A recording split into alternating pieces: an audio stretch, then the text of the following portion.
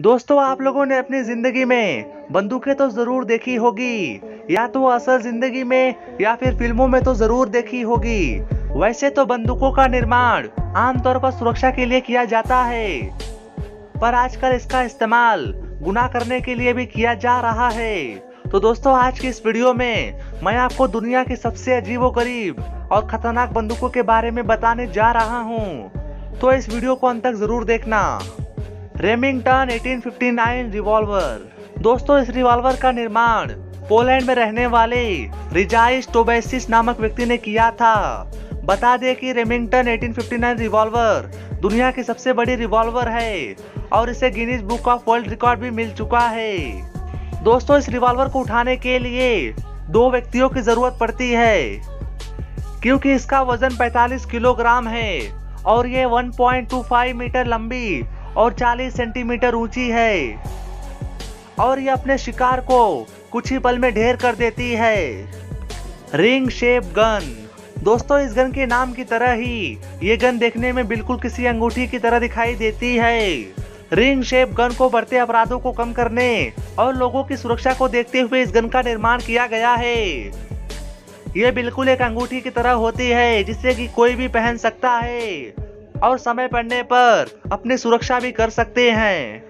आपको बता दें कि ये गन दिखने में भले ही छोटी हो, मगर ये बहुत ज़्यादा ही खतरनाक है। गैटलिंग गन गैटलिंग गन का निर्माण सबसे पहले रशिया में किया गया है, और इस गन को बनाने के लिए छह रशियन एस राइफल्स का इस्तेमाल किया गया है। छह राइफल्स को एक साथ जोड़ने की वजह से ये छह गुना अधिक गोलियों की बौछार अपने दुश्मन पर करती है। जिससे कि कम समय में अपने दुश्मन का अधिक से अधिक नुकसान कर सके।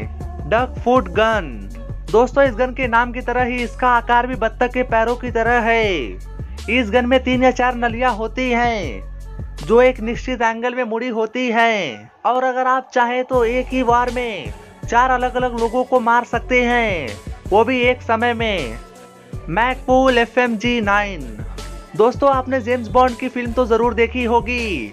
फ़िल्म में दिखाया गया है कि कैसे गैजेट मात्र कुछ सेकंड में अपना रूप बदल लेते हैं। कुछ इसी तरह से ये गन भी अपना रूप बदल लेती है।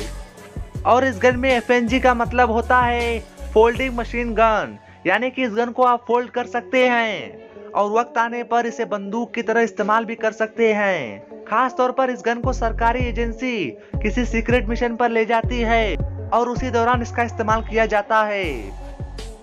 Glock with hundred round drum ये बंदूक देखने में जितनी अजीब लग रही है, उससे कहीं ज़्यादा खतरनाक है। ये गन सौ कस्तूरों से भरी ग्लॉक गन है। और आपको जानकर हैरानी होगी कि ये सिर्फ़ पाँच सेकेंड में सौ राउंड फायर करती है। और इस गन में दो मैगजीन लगे होते हैं, जिसमें 50-50 गोलियाँ होती हैं। और इस गन की मैगजीन फायरिंग के समय घूमते रहती है। और अपने दुश्मन को सोचने तक का मौका नहीं देती है।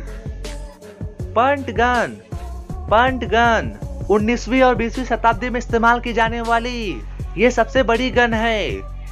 इस गन का आकार और वज़न बहुत अधिक होने की वजह से इसे कोई अकेला व्यक्ति नहीं उठा सकता। इसे उठाने के लिए कम से कम दो लोगों की ज़रूरत पड़ती है और इस बंदूक को आमतौर पर छोटी सी नाव पर लगाई जाती है। जिससे कि बत्तखों का शिकार किया जा सके। Apache revolver. अपाचे रिवॉल्वर को 1900 के दशक में बनाया गया था। इस गन को लुइस नाम के एक व्यक्ति ने बनाया था।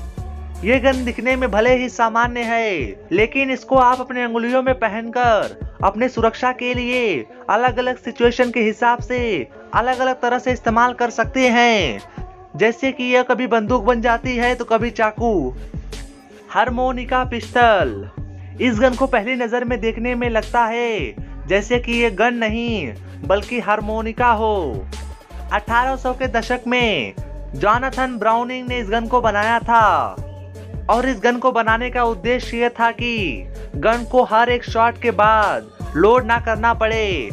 इसलिए एक स्लाइड में बहुत सारे गोलाकार चेंबर बना दिए जिसमें से हर एक चेंबर में बुलेट होती है। और जैसे ही गन से फायर किया जाता है तो वो स्लाइड आगे खिसक जाती है, जिसके कारण गन को बिना लोड किए आप दूसरा फायर करने के लिए तैयार हो सके।